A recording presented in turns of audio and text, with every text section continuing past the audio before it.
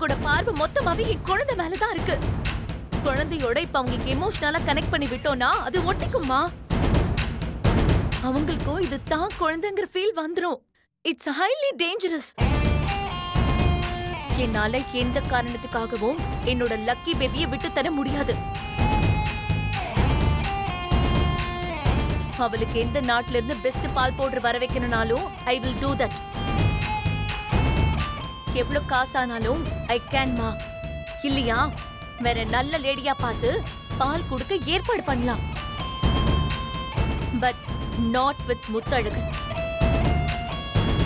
அம்மா பொண்ணு sentiment is more dangerous